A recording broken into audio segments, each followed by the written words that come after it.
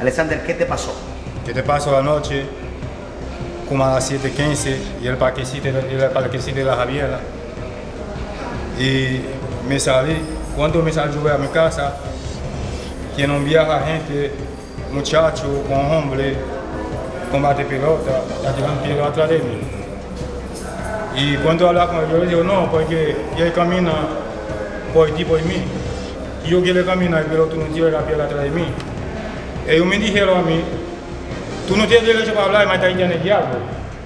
¿Te dijeron ellos? Él mismo, sí, él lo dice. Yo dije, no, tú quieres que hable ahí el diablo de mí.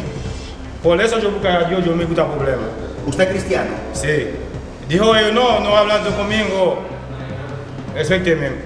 Eh, voy a tomar mal, le singa tu mal. Yo no, no va a decirme eso. Usted también, porque yo tengo mamá, tú tienes mamá. Y yo soy mayor de 50 años.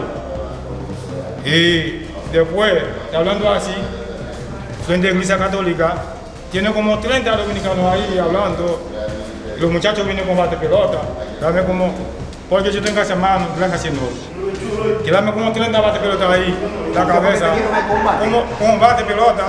Dame como 30 ahí.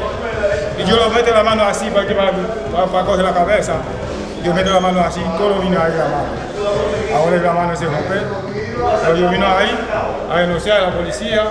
Pero, como dicen ellos, siempre aquí los haitianos no tienen derecho para hablar, no tienen derecho para nada. Yo vino ahí porque la policía, yo creo que mamá, papá, mi hija, la policía, como yo tengo 32 años aquí en San Francisco, nunca he tenido problemas con la gente, yo vine ahí para denunciar. ¿Cuántos fueron los que te atacaron? ¿Cuántos eran ellos? Eh, ¿Cuántas personas? Tiene como, como, como 8, pero lo que el bate, 2. Tiene como 8, lo que, da, lo que tiene bate pelota, bate pelota, batarse, 2. ¿Dónde tú vives aquí? Yo viví en la Javier mismo, hasta en la iglesia católica. ¿Cuántos años tienes residiendo ya aquí? Yo, En el país, ¿qué tiempo lleva? 32 años. Yo, tiene, yo en 52 años, yo tengo 32 años aquí mismo. ¿Nunca había tenido ningún tipo de inconvenientes? Nadie, nunca. Es primera vez. ¿Qué le pide a las autoridades entonces? ¿Te va a querellar contra los responsables? ¿Qué le pide a las autoridades? Ya, yo hice una vida, él quiere que como responsabilidad, porque ahora yo va a tener como un mes sin trabajo.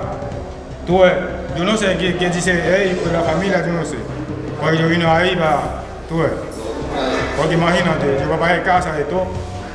Y yo tengo muchachos para mantener, y ahora yo voy a tener todo eso. Si, si yo tengo posibilidad de ello, aunque sea yo voy a buscar un abogado, que así la cosa.